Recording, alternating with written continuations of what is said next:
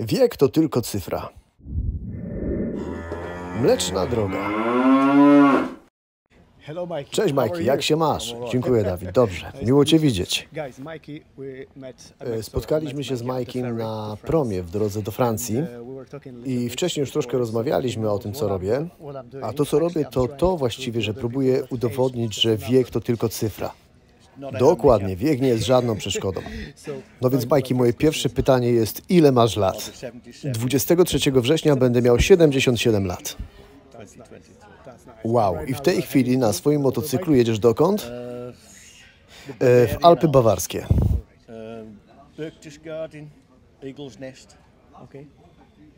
Hitler's. Czyli miejsca, w których Hitler miał swoje schronienie. Wiesz, ja urodziłem się w 1946 roku, rok zaraz po zakończeniu II wojny światowej. Dlatego teraz chciałbyś odwiedzić Niemcy. No wiesz, mam trochę takich powiązań z tym okresem. No urodziłem się, wiesz, w czasie po II wojnie światowej. Więc sporo z tego czasu jeszcze pamiętam, chociażby to, jak wiesz, było ciężko wtedy też z pieniędzmi. Ale wiesz, mimo wszystko myślę, że to był taki szczęśliwy czas, bo ludzie wtedy mieli więcej szacunku do siebie nawzajem. Powiedz mi coś, Majki, bo zauważyłem, że jeździsz na bardzo pięknym motocyklu. Kawasaki Z1000. E, tak, SX. Lubisz ten motocykl? Tak. A czy mógłbyś mi powiedzieć o nim coś więcej na temat jego takich dobrych i złych stron? Tak naprawdę to on nie ma żadnych złych cech. Środek ciężkości jest umieszczony nisko, co akurat jest dobre, bo wiesz, ja jestem niski, więc z łatwością mogę nim manewrować w lewo i w prawo.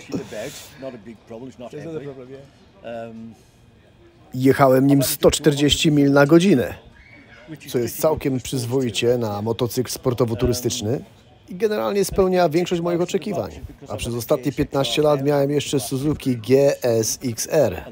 I to jest niesamowity sprzęt, niesamowity. Dlaczego go zmieniłeś? Czy wciąż go masz? Nie, wciąż go posiadam. On będzie ze mną pochowany. To będzie ostatnia przejażdżka. Ma ten taki zryw, uh, to takie przyspieszenie, szczególnie kiedy chcesz szybko kogoś wyprzedzić. Na drogach dzisiaj jest pełno takich, co chcą się ścigać. Próbuję cię wkurzać, a ty mówisz spieprzać. Super, Majki, moje ostatnie pytanie jest, czy ty wciąż pamiętasz swój pierwszy motocykl? Tak, pamiętam. Pamiętam, bo się na nim rozwaliłem.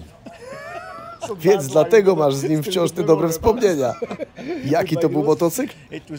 To był BSA BSA C15 C15, and it was a 250. o pojemności 250 cm.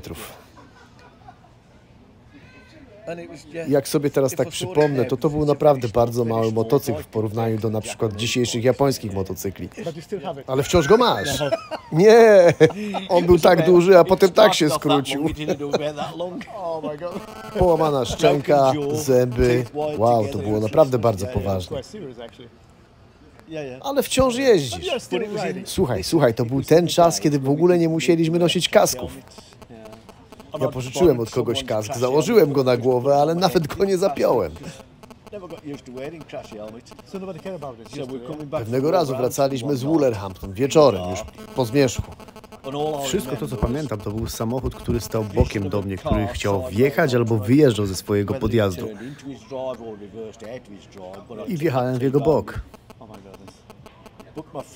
Moi przyjaciele, którzy byli za mną i mój kumpel Pete powiedział, że to, co on pamięta, to był mój kask, który turlał się po jezdni. uh, Byłem po tym wypadku w szpitalu przez 6 tygodni, ale to nie zniechęciło mnie do jazdy motocyklem, więc zaraz po wyjściu ze szpitala ściągnąłem te wszystkie druty z zębów i jeździłem dalej. Słuchajcie, myślę, że to jest bardzo ważne, aby pamiętać o tym, że nieważne ile ma się lat. Większość ludzi uważa, że jak się już ma ponad 70 lat, to już jest to czas na umieranie. Dokładnie, ktoś mówi, mam 60 lat, jestem już za stary. Nie, nie jesteś.